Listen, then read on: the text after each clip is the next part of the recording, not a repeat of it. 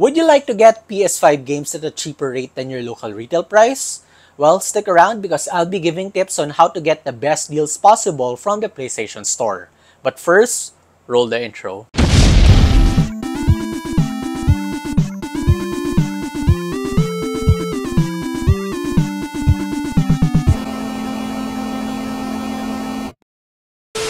Hey guys, my name is Zach and this is GG Fist Bump. I'm a gamer from the Philippines and the tips that I'll be sharing will be from a standpoint of a Filipino PS5 or PS4 owner. These tips would still apply to my other international viewers, but the currency which I'll be using primarily for this video will be in Philippine pesos. While exchange rates vary from day to day, I'll be using the exchange rates for today, which is 1 US dollar equal to 53.66 pesos. Rounded off, that's 54 pesos. Now, just as a background, especially to those first-timers to the PlayStation Store, the Philippines is not listed as an available country when you create your PSN ID. Based on local Facebook communities, the top three countries being chosen when creating PSN accounts in the Philippines are the US, Singapore, and Hong Kong because those are the regions of the physical game copies sold at our local retailers, primarily Data Blitz, Game Xtreme, Game 1 PH, Toys R Us, and Toy Kingdom. People tend to choose these regions to avail the DLC codes of their physical games and because the gift cards of PSN credits and PS Plus subscriptions are available for these three regions. You can actually create three or more PSN profiles on your PS5 with varying regions and play these games bought from these different PlayStation stores on your main account. This is actually good if you're a trophy hunter for your games. Anyway, creating a PSN account where digital games are sold cheap would be our main course of action. But which region is recommended and how can you buy games from its PlayStation Store? Turkey is actually the cheapest out of all the regions, but you can only use Turkish credit cards to buy from its PlayStation Store.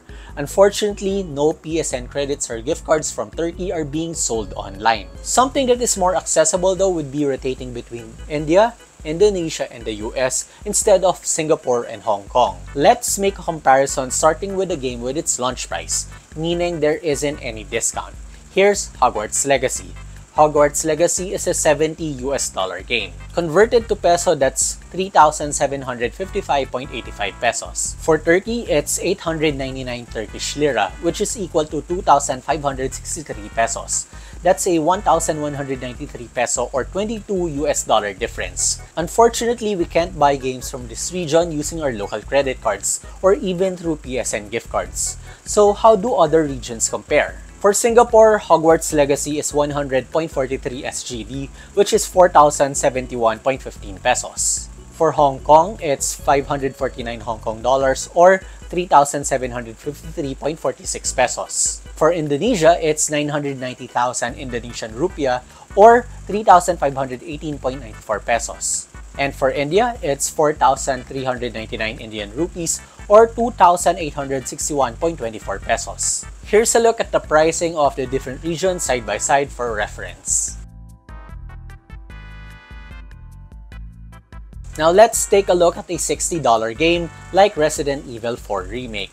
RE4 is 60 US dollars or 3,219.30 pesos. For Singapore, it's 81.76 SGD or 3,314.32 pesos. For Hong Kong, it's 438 HKD or 2,994.56 pesos. For Indonesia, it's 831,000 Indonesian rupiah or 2,953.78 pesos. And for India, it's 3,999 Indian rupees or 2,601 pesos. By reference, RE4 is 699 Turkish liras in Turkey or 1,992.83 pesos.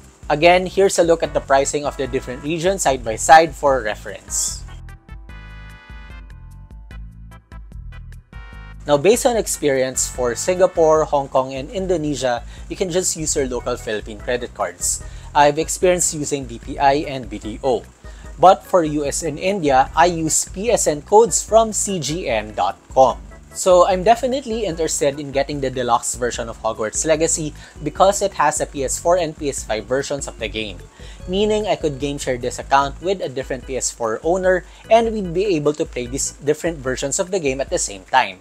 Now, the price of Hogwarts Legacy Deluxe Edition at the Singapore store is 119.71 SGD, which is equal to 4,852.70 pesos. I can just use a local credit card or I can just take a look at the Indian store first and see that the deluxe version is 5,299 Indian rupees. That's 3,446.63 pesos. Now to purchase credits, I go to seagm.com, search for PlayStation Network cards, and you'll have a list of all the regions they have for sale. We can choose India, and we can choose from the different denominations. Since this is 5,299 Indian rupees, I can just add the 4,500 denomination to our cart and the 1,000 denomination as well. Now, if we proceed to our cart, you can just press checkout. Then you can just choose from the different payment options. For Filipinos without credit cards, you can choose GCash and you'll see that there's a very minimal processing fee. But at 3,903 pesos, that's already a 949 peso difference from Singapore. Just pay now and you'll be redirected to the GCash portal. Once paid, just go to your account, My Cards, then you'll see the different cards you've purchased. Click Show Card, then just copy the code to your PS5 or PS4's PlayStation Store.